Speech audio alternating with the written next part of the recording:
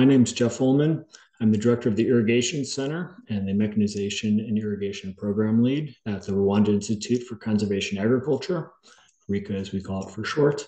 Um, I'm also presenting on behalf of Richard Ferguson and Ron Rosati, our two vice chancellors, and I want to give you a little bit of background into the innovative educational approach that RICA uses uh, for developing a sustainable agricultural future in Rwanda and East Africa.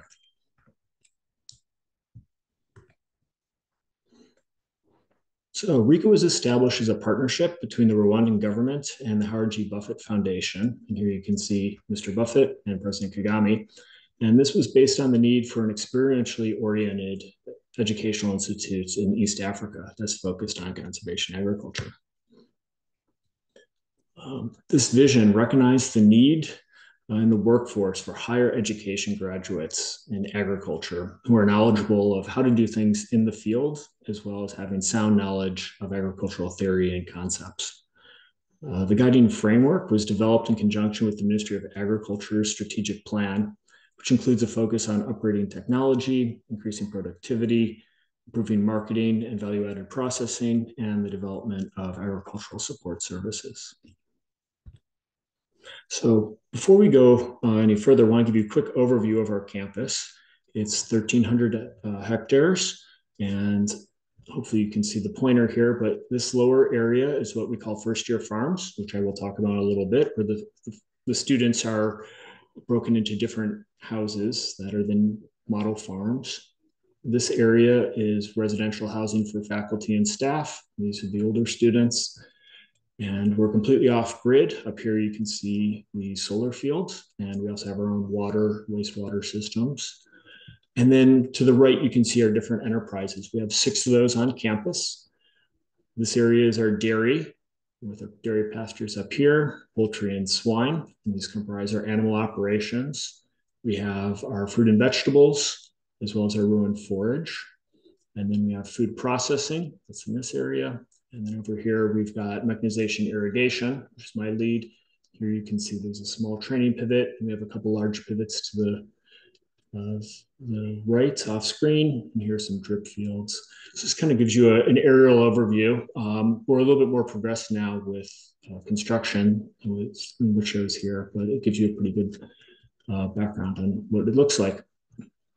So Essentially, conservation agriculture is recognized by RICA as central to the long-term sustainability of the sector in Rwanda and throughout East Africa. This preservation and enhancement of soil quality is a key component uh, for crop production and profitability. And while RICA follows the basic principles promoted by FAO, minimal soil disturbance, uh, maintaining soil cover using crop residues, cover crops, and crop diversification through rotations and intercropping. Um, we've expanded this definition, and I won't go through all of that right now. It also includes One Health principles to cover a wider portion of the agricultural sector. And for those of you who may not be familiar with One Health, it's an integrated, unifying approach to balance and optimize the health of people, animals, and the environment. So, excuse me. So what we offer is a Bachelor's of Science in Conservation Agriculture. And this is a three-year program. And it's broken up into three 14-week terms uh, in each academic year, which are roughly congruent with our three growing seasons that we have here in Rwanda. And although this is a three-year program, it was developed to be comparable to a four-year program elsewhere. Um, students take standard classes in math, science, communications, and other relevant fields to gain a strong academic foundation. However, what sets RICA apart is that we have a strong focus on experiential hands-on learning. And this translates to about half of credit hours that the students take um, taking place outside of the classroom, either in the field or in lab type settings. So here's an example on the left is uh, one of our former faculty, for Longo, who is uh, teaching the students uh, proper mango harvesting at the proper stages. And then here I am at the right. Uh, we're looking at infiltration into soils using a double ring infiltrometer. So one of the other things that we have uh, in our curriculum is a number of threads. As I mentioned, conservation, uh, agriculture, and One Health that weave their way throughout all the courses. We also have an emphasis on communications and entrepreneurship. Um, here you can see on the left are the students are marketing their food to the local cafeteria, uh, who is subcontracted by us. And uh, the picture to the bottom right is one of our recent graduates that during her internship, she helped set up an entrepreneurial um, project uh, for, for improving protein uh, to the community through fish. So I mentioned the smallholder farming at the small farms uh, earlier when I showed the map.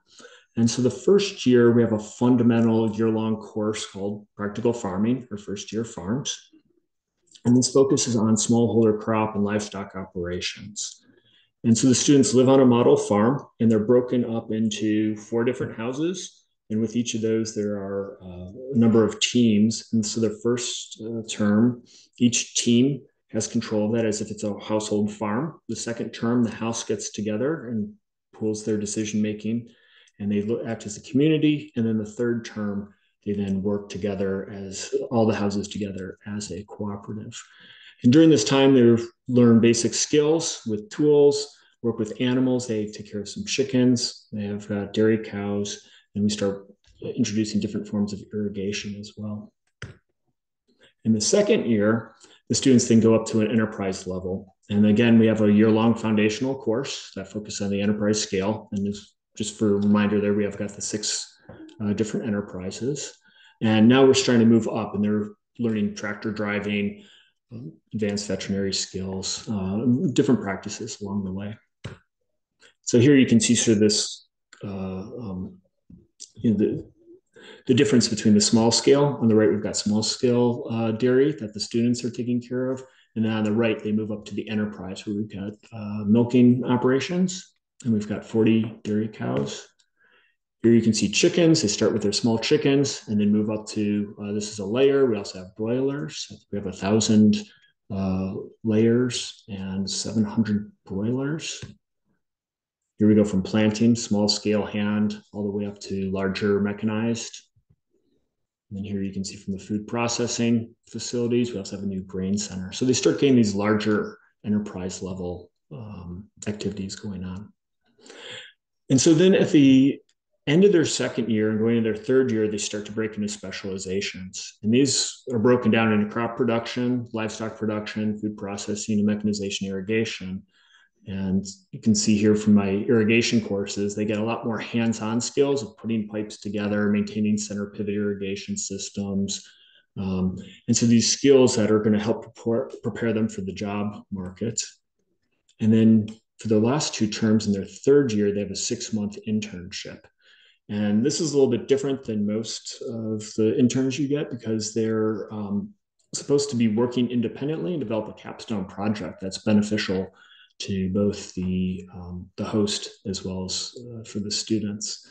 And they get a lot of uh, skills in the different respective specializations. Here we've got one uh, where they're working with some food processing on the left, and on the right, they were working with seed production in a, a clean room. And these all are done with uh, academic requirements. It's not your typical just uh, following your host around and shadowing. And then when they come back, we also have workshops to fill in any gaps. On the left, we had a, a, an instructor come in from the United States who taught advanced welding skills. And then on the right, we had some people also coming in and talking about uh, crop production and, and filling in uh, additional things that they didn't get in their original classroom setting. Another component to RICA that's important to point out is that we have a, a, US land grant approach where we have a threefold mission. So the teaching, which we talked about with very experiential learning, we also do research and extension and include the students in those. So on the left, we've got a food production uh, training session with local uh, farmers. And then on the right, this is one that I've been involved with. My intern uh, that I had working with me decided he wanted to get into poultry housing. We worked with chicken tractors and uh, chicken uh, coops.